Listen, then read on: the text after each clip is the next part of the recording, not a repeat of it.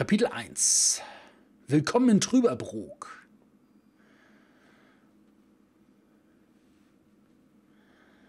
Kriege ich nicht hin. Der Der letzte Satz. fehlt und wir haben einen Marderschaden an der Hauptleitung. Ob das der Dieb gemacht hat? So, Vorschlag. Ich halte hier die Stellung und versuche mein Bestes. Schau du dich doch mal unten im Ort um. Wir brauchen den Hauptschlüssel für die Seilbahn und wir müssen irgendwie diese kaputte Hauptleitung überbrücken. Kannst du dir das merken? Nein. Ich versuche es mir zu merken. Los geht's. Das wird sicher ein Spaß. Natürlich wird es das. Natürlich. Gut, dann machen wir mal weiter. Äh, ja, ich würde mal sagen, wir gucken uns einfach erstmal alles an hier. Können wir irgendwas machen? Rekord. Das Förderseil der örtlichen Seilbahn scheint intakt zu sein, wenngleich es jede Form von Gondeln oder Förderloren vermissen lässt. Ein Geruch von Öl und Erde liegt in der Luft. Na. Was ist das jetzt? Man kann über das ganze Tal schauen. Was sich am anderen Ufer befindet, bleibt ein Geheimnis. Vielleicht kommen wir da ja noch hin. Ein Aussichtspunkt weiter oben im Ort bietet einen herrlichen Ausblick über das ganze Tal. An die Reling gelehnt, die Nase im Wind, kann ich den Blick bis zum anderen Seeufer und in die Berge schweifen lassen. Bin mal gespannt, ob von ihr gleich noch ein Kommentar kommt, weil die ist ja auch nur dabei, mit dem Hammer auf das Ding einzuschlagen. Ich weiß nicht, ob das so zielführend ist. Es leuchtet rot. Da könntest du recht haben. Man braucht wohl erst einen Schlüssel, um die Anlage starten zu können. Genau, du Superhirn. Hast du schon im Dorf rumgefragt, ob ihn jemand hat? Dass sie immer so ungeduldig sein müssen, die Frauen. Ne? Immer so ungeduldig. So, gucken uns mal die Kabel an. Starkstrom. Irgendwie müssen wir das doch repariert bekommen. Äh, ja, ich weiß nicht, ob man daran so, ob man das machen sollte, tun sollte.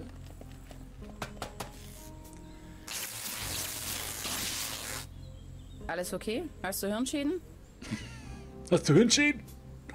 Keine Antwort. Ich weiß nicht, ob ihm das so gut tut. Wie bekannt, haben Marder eine verhängnisvolle Liebe zu Kabeln aller Art. Im vorliegenden Fall muss es sich um ein besonders stattliches Exemplar gehandelt haben, der Dicke des Kabels nach zu urteilen. Als Ausweg blieb ihm nur der Tod. Was haben wir denn hier? Ich frage mich, was das ist. Hm, verschlossen. Ist ja ein Ding. So. Hier können wir hier, hier können wir luschern.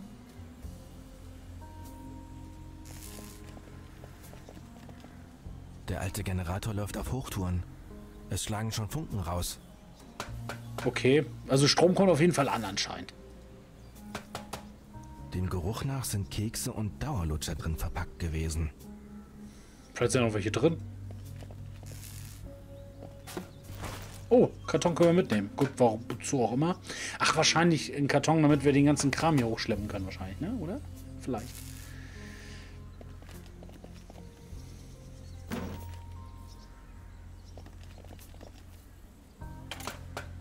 Hallo? Jemand da?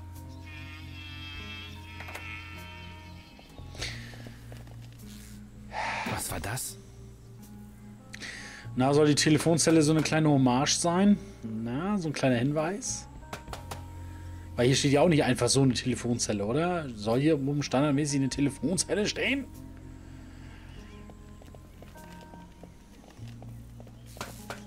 Mit dem Fernrohr hat man sicher einen guten Blick ans andere Seeufer. Ja, dann luscher doch doch mal rein. Man muss eine Münze einwerfen. Ah, na klar, aber eine Münze hat er natürlich nicht dabei. Nein, ist klar, der große Doktore hat natürlich keine Münze dabei. Man muss eine Münze einwerfen. Hast du eine Münze dabei? Hi, Hey, Hey! Wegen der Seilbahn. Was der Dieb wohl mit der Ab äh, Abhandlung will und sagt, wann bist du hier? Tschüss. was der Dieb wohl mit meiner Abhandlung will. Kann nicht der hellste gewesen sein. Wer soll sonst eine Abhandlung über Quantenphysik klauen? Ja, wahrscheinlich jemand, der durch die Zeit reisen will. Ich weiß es nicht. Wegen der Seilbahn. Achso. Wo brauchen wir nochmal einen Schlüssel? Was war nochmal das Problem mit der Stromleitung? Und da willst du echt hochfahren. Und da willst du echt hochfahren. Hast du etwa Angst? Was wir da finden, könnte für das Anthropologische Institut von großer Bedeutung sein. Komm schon. Und die Seilbahn sieht doch ganz stabil aus. Was genau ist das für ein Kult, den du da suchst? Ein protogermanischer Kult hier in den Bergen.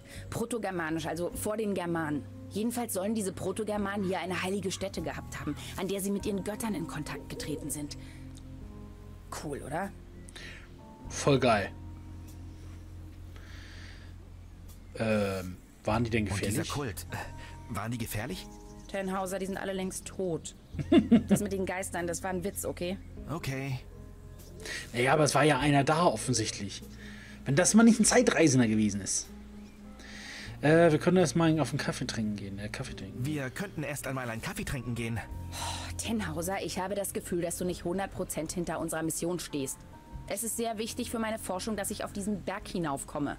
Und vielleicht finden wir dort ja auch deine Aufzeichnung. Aufzeichnungen? Du meinst zeitloses Meisterwerk? Oh Gott. Äh, ich überlege mir was. Hm, Okay, ich überlege mir was.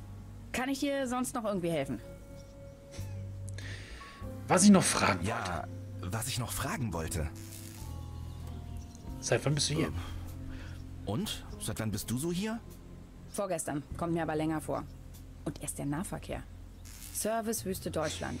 Ihr habt's gesagt. Servicewüste Deutschland. Ja, so ist es. Äh, wie bist du denn hergekommen? Ja, mit dem Bike, das wissen wir. Warum ausgerechnet drüber? Wie bist du überhaupt auf Trüberbrook gekommen? Ich habe vorher noch nie was von dem Nest gehört. Aber ich bin ja auch nicht von hier. Ich habe schon länger versucht, den genauen Ort für diese Kultstätte zu lokalisieren und als ich ihn gefunden hatte, habe ich mich sofort auf die Socken gemacht. Die Leute hier sind nett, aber schon noch ein bisschen seltsam, findest du nicht? Ja, irgendwas stimmt nicht mit denen. Ich wurde freundlich aufgenommen, jetzt wo du sagst. Ja, irgendwas stimmt nicht Ja, mit denen. irgendwas stimmt nicht mit denen. Erzähl mir was von dir. Was willst du wissen? Du kommst also aus den Staaten, hm? Aus den Vereinigten Staaten von Amerika. Wo Yay. genau? Woodinville, Washington. Nie gehört. Irgendwas Größeres in der Nähe? Seattle. Schon mal davon gehört? Ah ja, das kenne ich. Da bin ich mal lang gekommen. Du warst in den Staaten? Ja, einmal. Ist aber schon ein paar Jährchen her. Eigentlich war ich für eine Konferenz in New York City da, aber dann habe ich ein paar Leute kennengelernt und bin länger geblieben.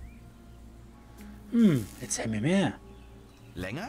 In New York City? Na, nicht die ganze Zeit. Kleiner Roadtrip. Erst die Neuengland-Staaten, Boston, Waterville bis rauf zum Moosehead Lake, Mount Katahdin und so weiter. Dann durch Kanada und den mittleren Westen, Montreal, Toronto, Detroit, Chicago. Immer weiter und weiter. Dann Washington State, da bin ich irgendwie hängen geblieben. Oregon, runter nach San Francisco. Ah, das waren noch Zeiten. Hui. Ja, da bist du ziemlich sicher an Seattle vorbeigekommen. Nee, das glaube ich nicht. Und da studierst du? Nein, studiert habe ich an der Ostküste, an der Cornell, Ithaca, bei Dr. Schrödinger. Sagt er dir was? Ah, na klar. Ach so, deshalb der Austausch hier nach Deutschland, verstehe. Austausch? Nein, eigentlich ist das Zufall. Ich habe die Reise gewonnen. Gewonnen. Frag mich nicht. Ich habe an keinem Gewinnspiel teilgenommen. Interessant. Ah, So, so. gewonnen. Und sie haut weiter mit, mit dem Hammer drauf. Na gut, lass uns mal nach unten gehen. Lass uns mal nach dem Zeug suchen. Wir brauchen einen Schlüssel und äh, wahrscheinlich Kabel und diverse Sachen. Aber am besten gucken wir überall einfach mal vorbei. Irgendwas finden wir da schon. Oh Gott, wer ist er denn? Oh, grüne Leute. Erstmal hier gucken. Eigentlich ein ganz schöner Tisch. Seien Sie vorsichtig, der Tisch wackelt ganz schrecklich. Ja, auf drei Beinen. Ja, auf der, nee, auf der vierte ist er steht auch noch da. Puh, schönen guten Tag. Ob wir verzweifeln werden, da bin ich mir sicher, aber schauen wir mal. Bleiben Sie lieber auf Abstand. Der Tisch wackelt so schlimm. Naja, da wird uns schon nicht erschlagen. Dieser Tisch, er wackelt. Hier geht einfach alles den Bach hinunter. Guten Morgen. Der Herr? Ein schönes Plätzchen haben Sie hier. Wie geht es Ihnen? Können Sie mir etwas über die Seilbahn sagen? Äh, ein schönes Ein Plätzchen. schönes Plätzchen haben bisschen Sie hier. Es ist ein Trauerspiel, wie der Ort, wo die Hunde geht. Alles geht den Bach hinunter. Genau wie dieser wackelige Tisch. Was hat er denn mit seinem Tisch? Guten Morgen. Der Herr? Äh, wie geht es Wie Ihnen? geht es Ihnen? Fragen Sie nicht. Selbst der Cognac will mir nicht zurecht schmecken, so wie dieser grauenhafte Tisch immerfort wackelt. Vielleicht sollen wir den Tisch erstmal reparieren, damit er Ruhe gibt. Guten Morgen. Der Herr? Können Sie mir etwas über die Seilbahn Können Sie sagen? mir etwas über die Seilbahn sagen? Ach, an die alte Seilbahn will ich gar nicht denken. Und dieser wackelnde Tisch ist einfach unerträglich. Er macht mich noch wahnsinnig. Gut, also müssen wir wahrscheinlich erstmal, so wie sich das anhört, erstmal den Tisch reparieren. Bleiben Sie lieber auf Abstand. Der Tisch wackelt so schlimm. Damit er vielleicht mal ein bisschen was erzählt. Ich gehe aber nochmal hier hinten was gucken. Kann ja sein, dass wir vielleicht noch was einsammeln können müssen. Ach, guck mal, ah, guck mal, guck mal an. Was haben wir denn hier? Aha. Als wenn ein Blitz eingeschlagen ist. Hilarius der Unberatene, Markgraf von Trüberbrook, Bezwinger des Drachen, Mhm. Retter von Trüberbrook. Mhm. Ja, Im Jahre des Herrn 1250 Anno Domini. Sieht aus, als hätte hier letzte Nacht der Blitz eingeschlagen. Sag ich doch. Sieht immer noch stabil aus. Aber leicht äh, verprügelt, äh, ja. Mehr haben wir hier nicht, ne? Gut. Das Schild ist aber auch neu, oder nicht? Was steht denn da? Herzlich willkommen. Sie unsere. Genießen Sie. Genießen Sie unsere hausgemachten Eisspezialitäten. Hm. Können wir hier nochmal reinluschern? Gartenzäune erinnern mich immer irgendwie an meine alte Nachbarschaft. Auch nichts Neues. Nee, gut, okay. Das heißt, wir müssen dann doch erstmal wieder ins Hotel. In die Pension. Hier ist auch nichts zum Reparieren. Ach, warte mal, hier oben können wir doch irgendwie. Da hängt ein Kleiderbügel an der Leine. Ein Meisterwerk der Ingenieurskunst. Ja. Da oben ist eine Wäscheleine bis unter mein Fenster gespannt. Ja, siehst du, da können wir. Das sieht doch schon wieder ganz anders aus. Was ist das denn da oben? Hier Die das- Antenne ermöglicht den Fernsehempfang in der Gaststube. Okay. Man lernt ja nicht aus. Gehen wir mal rein. Ich glaube, das Spiel will, dass du den Tisch reparierst. Das habe ich mir nämlich auch gedacht. Das denke ich schon. Und erzählt uns wahrscheinlich nichts. Äh, die Zeitung können wir uns mal angucken. Trüberbrook. 998 Jahre Trüberbrook. Ein wundervolles Fest für einen wundervollen Ort. Unser geliebtes Trüberbrook. Ortsvorsteher J. Bierschock. Trüberbrook. Im Jahre 969 Anno Domini wurde unser schönes Dorf zum ersten Mal urkundlich erwähnt. Während wir gemeinsam der großen 1000 entgegenfiebern, sind 998 Jahre immerhin ein fast runder Geburtstag, den man gerne feiert. Der Trüberbroker Tribun und die Werbegemeinschaft möchten euch einladen, gemeinsam ein rauschendes Fest zu feiern. Die Feier steigt am 1. September und das ist vom 4. August, okay? Die Zeitung. 1. September, wie jedes Jahr äh, am Denkmal von Heinz Erebus Erdmann vom, äh, von Übelgönnel. Äh, Übelgönnel, ähm, ja. Dem legendären Gründer unseres Geburtstagskindes. Okay. Wir freuen uns besonders darauf, für das neue Jahrgangsfestchen Bolzenschuss. Ja, okay. Bolzenschuss mit euch anzustechen und zum Auftritt ähm, einer ganz besonderen auswärtigen Musikkapelle, deren Name an dieser Stelle noch nicht verraten wird, das Tanzbein zu schwingen. Auch dieses Jahr gibt es wieder eine Tombola mit vielen tollen Gewinnen. Der Hauptpreis ist eine ganztägige Tretbootfahrt auf der trüben auf der trüben Lanke, auf der trüben Lanke, gesponsert vom Souvenirgeschäft Hades. Gefeiert wird mit Freunden, Verwandten und Nachbarn bis tief in die Nacht. Wer da nicht dabei sein will, ist selber schuld. Neuer Busfahrplan. Äh, Trüberb. Trüber, Trü, also Trüberbrook, das ist einfach nur die Abkürzung. Ich dachte, das wäre jetzt nochmal eine andere Ortschaft oder so. Trüberbrook. Alle Jahre wieder kommt der Herbstfahrplan. Das ist so sicher wie die Ver, ähm, Ver, was? Verballen? Ja, verbalen die verbalen Ausrutscher unseres Bundespräsidenten. Ab September kommt der Postbus wieder nur zweiwöchentlich. Äh, ach so, wieder nur zweiwöchentlich. Na, das ist ja doch überschaubar. Wenn ihr also auf ein Päckchen wartet oder euch einfach nur auf einen Plausch mit der guten alten Ramona mit dem Herzchen treffen wollt, müsst ihr euch bald wieder zwei statt einer Woche gedulden.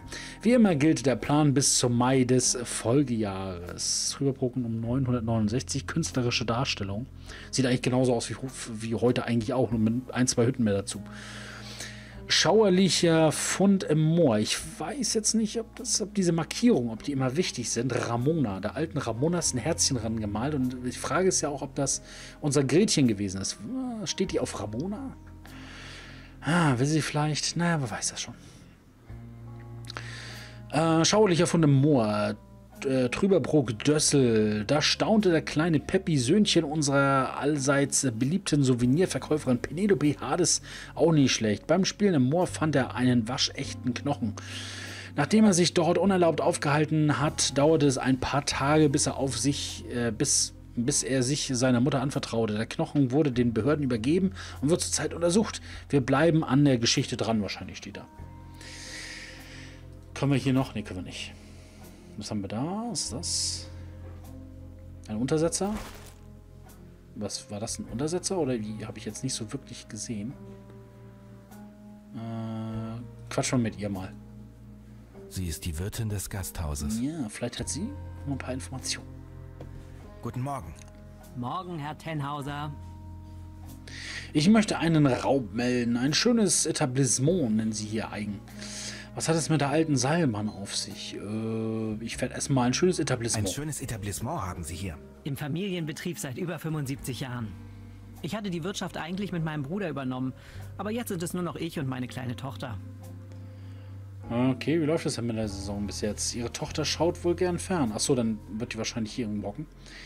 Was ist aus ihrem Bruder geworden? Was ist denn aus Ihrem Bruder geworden? Ach, der Lump hat sich nur für seine Flasche interessiert. Hm. Am Ende hat der Tauge nichts zu viel an seinem Bolzenschuss geschnuppert und sich aus dem Staub gemacht. Wie läuft denn die Saison bis jetzt? Als einziger Gast habe ich mich gefragt, wie läuft denn die Saison bis jetzt? Saison? Haben wir schon seit Jahren keine mehr gehabt. Ihre Tochter schaut wohl gern fern, hm? Ach, das Kind sitzt ständig vor der Kiste. Sie hat nur außerirdische und fremde Welten im Kopf. So ein Unsinn, oder? Kann ich sonst noch was für Sie tun? Ich möchte einen Raub melden. Äh, ich könnte ein Bier vertragen. Seilbahn auf sich. Äh, Ich möchte einen Raub melden. Wir machen was. Ich möchte einen Raub melden. Letzte Nacht hatte ich einen ungebetenen Gast in meinem Zimmer. Bei uns im Haus? Oh Gott, das tut mir leid. Wenn Sie gestatten, werde ich sogleich die Polizei informieren. Danke. Ich werde Sie auf dem Laufenden halten. Äh, was hat das mit der alten Seilbahn? Können Sie mir sagen, was es mit der alten Seilbahn auf sich hat? Die Seilbahn führt rauf zum alten Bergwerk. Das gehörte einst dem Freiherrn von Sülz, bis dieses Unternehmen aus Übersee ihn unter Zwang rausgekauft hat. Freiherr von Sülz. Wer ist Freiherr von Sülz? Was war das für ein Bergwerk? Was ist das für ein mysteriöses Unternehmen? Was ist das für ein mysteriöses Unternehmen, von dem Sie da sprechen? Die nennen sich Millennium Kooperative oder so ähnlich. Sehr dubiose Gesellschaft. Respekt. Wir haben Verbindungen bis ganz nach oben, wenn Sie wissen, was ich meine. In die höchsten Gefilde der Macht. Wonach wurde dort geschürft? Eine alte Silbermine. Also nichts, was einen äh, Quantenphysiker interessieren könnte. Na jo. Ist schon ein paar Jahre her. Damals, als es noch Arbeit genug für alle gab. Aber dann hat dieses Unternehmen erst das Bergwerk übernommen und dann einfach dicht gemacht. Da haben die wahrscheinlich irgendwas gefunden, was kein anderer finden soll. Ja, was wurde aus den Arbeitern? Und Die was wurde aus den Leuten, die im weggezogen. Bergwerk gearbeitet haben? Immer mehr Fremde kamen in den Ort. Was die letztlich im Bergwerk getrieben haben, weiß keiner so genau. Manche sind verschwunden, manche sind verrückt geworden. Wer weiß das schon so genau? Irgendwann haben sie sogar das alte Sanatorium gekauft, um ihre Arbeiter unterzubringen. Das war natürlich vor der Schließung des Bergwerks. Okay, das ist schon mal sehr mysteriös. Und warum haben Sie das Bergwerk dicht gemacht? Ah, da gibt's die wildesten Spekulationen im Ort. Erst sind angeblich Leute spurlos verschwunden. Touristen, arme Lohnarbeiter ohne Angehörige und so weiter. Andere redeten von giftigen Rückständen in der Luft und im Wasser. Aber keiner weiß was genaues. Wenn Sie mich fragen, ich bin einfach nur froh, dass der Spuk ein Ende hat. Wegen der ganzen Gerüchte sind uns jahrelang die Kurgäste weggeblieben. Sehen Sie ja selbst. Wer genau ist dieser Freiherr von Sülz? Freiherr von Sülz war der Betreiber des Bergwerks, Philanthrop und Kunstmäzen. Seine Frau war die schillernde Baronin von Sülz, von der Sie doch sicher schon gehört haben. Von Sülz. Naja, jedenfalls, als das Unternehmen ihm das Bergwerk weggenommen hat, ließ ihn auch die Baronin allein und der Freiherr blieb als gebrochener Mann zurück. Nur noch sein Kater kann ihn ein bisschen erfreuen. Das ist aber jetzt nicht der, der, der Fuchs, der hier rumläuft, oder? Würden Sie mir die ganze Geschichte noch einmal im Detail zusammenfassen? Oh. Naja, gut, komm. Würden Sie mir die ganze Geschichte noch einmal im Detail zusammenfassen? Die Seilbahn führt rauf zum alten Bergwerk. Das gehörte einst dem Freiherrn von Sülz, bis dieses Unternehmen aus Übersee ihn unter Zwang rausgekauft hat. Die nennen sich Millennium Kooperative oder so ähnlich. Sehr dubiose Gesellschaft. Und nochmal? Nein, ach Gott. Genug gehört. Danke. Kann Okay. ich sonst noch was für Sie tun? Hat man noch was frei? Könnte ein Bier vertragen. Komm, ein Bierchen, oder? Trude, machen Sie mir ein Pilzbier bitte. Sekunde, Professorchen. Ach, das ist alles gleich da, oder wie? Deckel. So. Zum Wohl. Alles in einem. Ähm, Sie ist die Wirtin des Gasthauses. ähm, Stimmt genau. stimmt, genau. Guten Morgen. Ähm, Morgen, Herr Tenhauser. ich denke, wir können jetzt ein Bierchen, Wegen der Seilbahn. Bierchen trinken. Klar. Was möchten Sie noch wissen? Genug gehört. Danke. Kann ich sonst noch was für Sie tun? Ich muss weiter. Fühlen Sie sich wie zu Hause, Professorchen. Übrigens, das Buffet ist eröffnet. Bitte, bedienen Sie sich. Oh ja, ich möchte jetzt mal mein Bierchen. Hier, ich will mal ein Bierchen trinken. Da. Gibt's aber nicht mehr Frühstücksbier. Hoch.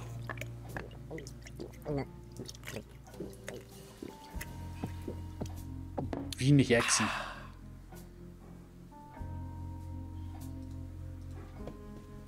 Okay, hatte doch geäxt. Und noch ein neuer Bierdeckel. Irgendwie so ein Sammelsorium. Morgen, Herr... Okay. Ich muss weiter. Fühlen Na Sie gut. sich wie zu Hause, Professorchen. Da werden wir nochmal mit der Lütten quatschen. Die wird ja noch, noch hier irgendwo rumoxidieren. Ach, die ist ja noch ganz. Ja, mit Fliegen. Mm, da geht man noch gerne bei. Mm. Wo diese Tür wohl hinführt? Abgeschlossen, ne? Verschlossen. Ja. Science Fiction. Irgendwas mit Raumschiffen. Sie sieht konzentriert aus. Hi. Sehr konzentriert. Sie ist wie in Trance. Hi. Sie ist wie in Trance. Dann wollen wir sie mal ein bisschen ärgern. Bitte nicht da stehen. Entschuldige, war keine Absicht. Doch Was was? guckst du denn da? Hast du noch nie einen Fernseher gesehen? Sehen Sie nun eine neue Folge von Raketenschiff Andromeda. Äh, Du lebst wohl hinterm Mond. Mit einem Fernseher kannst du in andere Welten reisen. Dabei fällt Okay. mir auf, ich habe dich noch nie hier gesehen. Bist du auch aus einer anderen Welt? Ja, pff, kommt wohl auf die kommt ganz Perspektive auf die an. Perspektive an. Mein Name ist Hans. Ich komme gerade aus Berlin. Hallo Hans, ich bin Leni. Meiner Mama gehört das Gasthaus. 70.000 Lichtjahre von zu Hause entfernt ist das Raketenschiff im Sternensystem Omega 3 gestrandet. Ist Berlin auch im Sternensystem Omega 3? Das ist, äh, Mafiosi, das ist nicht Saw. äh, jetzt habe ich leider nicht aufgepasst. Omega-3 sind Fettsäuren. Omega-3 sind Fettsäuren. Ach so ein Quatsch. Commander Aurora, die Star-Kybernetikerin, sucht einen Weg nach Hause. Und was ist dein Beruf? Bist du auch Star-Kybernetiker? Bitte was? Äh. Ach komm. Ich bin Quantenphysiker. Quanton was? Ich werde jedenfalls Star-Kybernetikerin. Nur Commander Aurora kann mit ihren Space Beams die bösen Rulonier in Luft auflösen. Und habt ihr Berlinalier auch besondere Fähigkeiten? Berliner. Kannst du auch Sachen verschwinden lassen? Ah, ich, ich kann Unmengen von Süßigkeiten verschwinden lassen. Wenn du das Geld auf mein Sparbuch meinst. Neugierige Kinder kann ich verschwinden lassen. Nein, sowas geht doch gar nicht. Ich kann Unmengen von Süßigkeiten verschwinden lassen. Das kann ich auch. Bleiben Sie an den Empfangsgeräten. Wir setzen das Programm nach der Reklame fort. Mein Onkel konnte auch Sachen verschwinden lassen. Ich weiß auch wo, aber ich darf es keiner Menschenseele sagen. Doch, sag mal, bleibt unser Geheimnis. War dein Onkel Zauberer? Was muss ich tun, damit du es mir verrätst? Was muss ich tun, damit du es mir verrätst? Da fällt mir nur eins ein. Kannst du beweisen, dass du kein Erdling bist? Oh Gott. Ich lasse mir was einfallen. Ah. Rack. Hier, mit diesem Sterntagebuch stehe ich in Kontakt mit meiner Heimatwelt. Eintrag. Habe soeben das Menschenkind Leni getroffen. Sie ist Hüterin eines Geheimnisses. Ist das wirklich ein Sterntagebuch? Darf Natürlich. ich auch mal? Gern. Hier spricht Leni vom Planeten Erde. Mein Onkel hatte ein Geheimversteck unter der losen Diele in Zimmer 3. Zimmer 3? Da wohne ich doch. Zimmer 3 war früher das Zimmer von meinem Onkel Heinz. Und wo ist dein Onkel jetzt? Meine Mama sagt, er lebt jetzt auf dem Planeten Nichtsnutz. Nichts nutz. ja. Ich Gut. muss jetzt erstmal sehen, wie es weitergeht. Ja. Achso, wir dürfen nicht Ich quatschen. muss jetzt erstmal sehen, wie es weitergeht. Na gut. Irgendwas stimmt nicht mit dieser Uhr. Äh, was stimmt denn mit dieser Uhr nicht? Äh, irgendwas, was man sehen kann? Irgendwas stimmt nicht mit dieser Uhr. Ein trübes Ölgemälde von welkenden Rosen in einer Vase. Ein Teil der Farbe blättert ab. Irgendwie poetisch. Poetisch. So, wollen wir noch was? Ich meine, wenn die ganzen Fliegen hier, ich weiß ja nicht, ich weiß ja nicht. Gucken wir uns das erstmal an. Da sitzt eine Made. da sitzt. Die Eine fühlt sich richtig wohl. Dann hauen wir doch mal einen Schlag rein. Rack. Man serviert hier im Ort gerne deftige Hausmannskost. Wie mir auffällt, haben ein paar Maden hier ein schönes Zuhause gefunden. Also soll das tatsächlich schon Frühstück sein? Oder, äh, keine Ahnung, das sieht mir so aus wie ein Braten oder sowas. Ich rette dich, kleiner Freund. Äh, ja, gut, dann nehmen wir jetzt eine Made mit. Ja, ja, gut.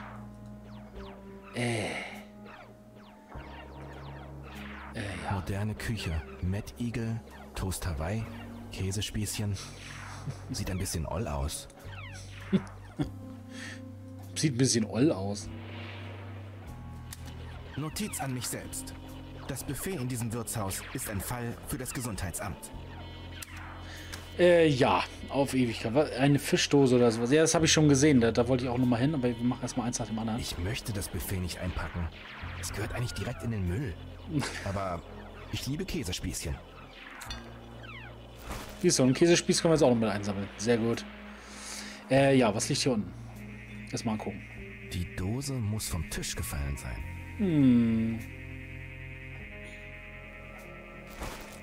Nehmen wir natürlich auch mit. Wir nehmen alles mit. Können wir noch was Ich anderes möchte mitnehmen? das Buffet nicht einpacken.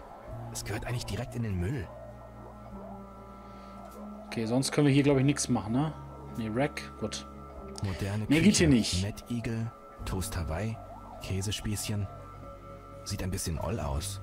Dann würde ich mal sagen, dann gehen wir erstmal nach oben. Gucken erstmal in unser eigenes Zimmer. Da sollten wir uns ja die dritte Diele mal angucken. Äh, die, die Diele mal angucken. Die Lose.